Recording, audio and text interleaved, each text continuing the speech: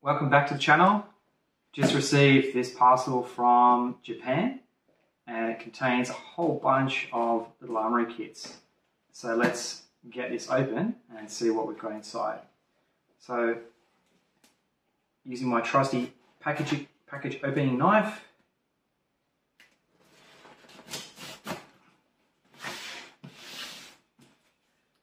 always away from the body when you're cutting.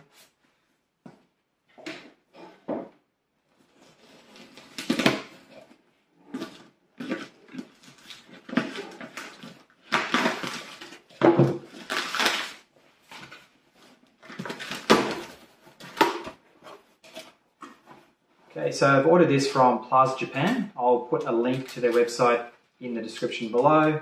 And I've got a little thank you from them here. Um, I'm not sure what this is.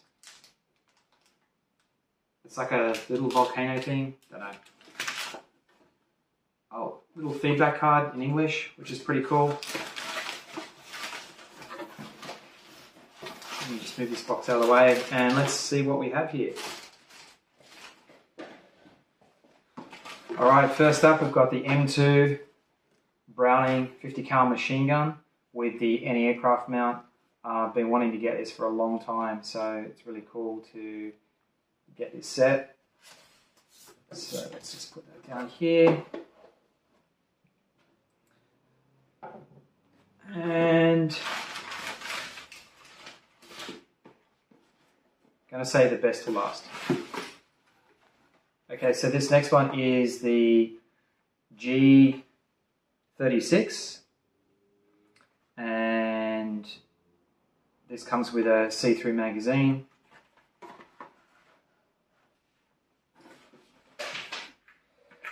Uh, next up we have the Mark 14 EBR.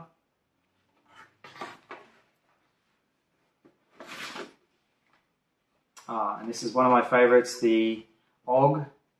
Uh, this is one of the rifles that I first trained on when I was in the Australian Army for the first time, back in the Australian, back with them again. So uh, this is uh, also a rifle that I'm using currently.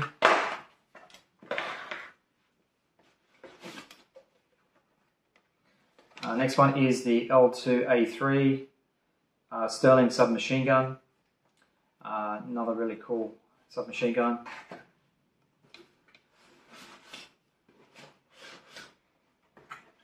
Alright, another classic, the um, M16A4 rifle.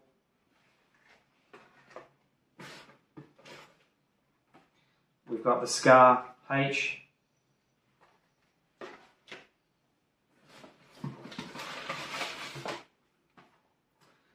And we've got the RPG 7.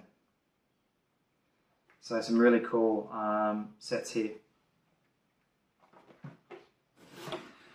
Okay, now this is the one that I'm really looking forward to getting.